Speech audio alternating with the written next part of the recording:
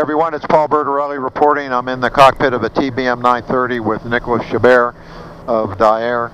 The thing about the 930 that's different is it has the uh, Garmin uh, G3000, which is a complete and probably the most sophisticated electronic stability protection system out there. And it's uh, in three components, correct, Nick? Let's talk about those three components, and then as we go forward here, we'll, we'll demonstrate them in flight. The three components, uh, Paul, that you got on the uh, uh Garmin system is first an electronic stability protection system, the ESP. That's basically what is going to keep you within the flight envelope. Anytime that you are above certain uh, roll or uh, pitch rate, it's going to try to bring you back by applying uh, against forces on the control. The second is going to be uh, the under speed protection. The under speed protection is going to keep you uh, within the minimum speed of the aircraft. Let's say stall speed of the TBM is 64 knots. It's going to keep you at 75 knots plus or minus 2 knots. If it's uh, with only 10 degrees uh, flaps, it's going to keep you at 85 knots. And if it's a full clean, it's going to keep you at 95 knots. The good thing between the two systems is they are interconnected together. Let's take a look at how that interconnection works. First, the 930's ESP is always on, whether the autopilot is on or not, although it can be intentionally disabled by the pilot. The ESP's bank protection activates when the bank angle exceeds 60 degrees. The roll servos push back against the pilot's input to right the aircraft.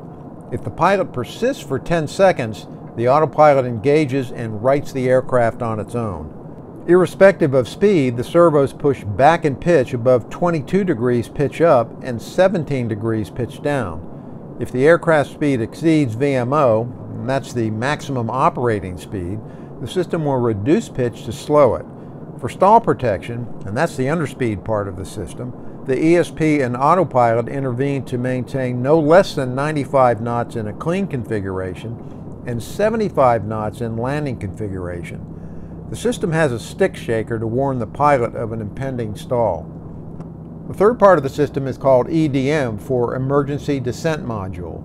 If the ESP detects that the cabin pressure has climbed above 10,000 feet, it will alert the pilot with audible and visual alarms. If the pilot doesn't react, the autopilot will engage and make a 90 degree left turn and descend to 15,000 feet in a breathable atmosphere. When you start to use ESP, after 10 seconds, it will automatically turn the autopilot on. Yeah, so when I, uh, when I tried that, uh, if I paid attention to the indicator and rolled it smoothly back to within 30 degrees, that was the end of the event. But if I don't do that, the intervention is the autopilot kicks in and does it for me. Absolutely. And it, it tells me the autopilot's going on. It tells you the autopilot is going on, and obviously the underspeed protection is only going to take over when you are below safe speed to keep you in safe position, in safe flight conditions. Uh, now worth noting here is that we have a uh, angle of attack indicator that is in the uh, lower left under the uh, airspeed indicator. And uh, that's constantly visible. And what I like about it is it presents the information uh, in an analog fashion. So so you can see the gauge moving up which I like. And we also have what's called a pitch limit indicator. It looks like a little pitchfork, and I'll show that in some B-roll here. And explain what that uh, pitch limit indicator does. Well, we go in very smooth sequence. Uh, first, there is this application of the against forces, as I was mentioning on the ESP. As soon as you start to be in a minimum speed, you have the first warning uh, with an oral warning. Then if you continue to go lower speed, you have a pitch indicator uh, limiter that is going to uh, provide you the best attitude that you, was, you need to seek in order to keep the speed uh, safer than where you are actually going to. So it, it's in fact the second level or second phase of the indication that is telling you that you're starting to be in that uh, uh, uh stall uh, near stall speeds before you actually enter the third phase, which is actual stalls, and you are in the red arc of the angle of attack. You have the uh, stick shaker that is also helping you physically detect what's going on with the aircraft. And uh, if you just continue, the system is kicking in with the underspeed protection. Now, uh, worth mentioning here is we also have a level button, which is uh, up on the pilot above the uh, up on the panel above the autopilot. You can use it anytime you want.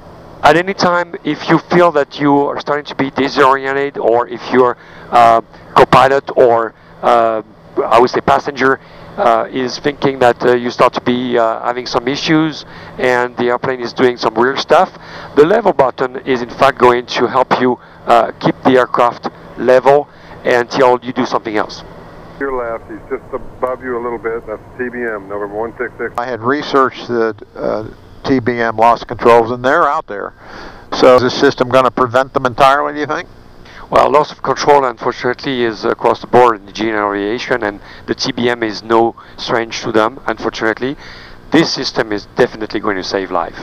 How many of these systems are out there now?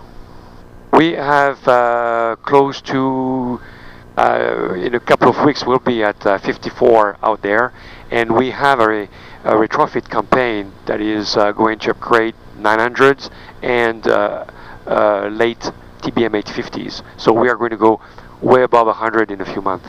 All right, Nick, thanks for the demo. Well, thank you, Paul.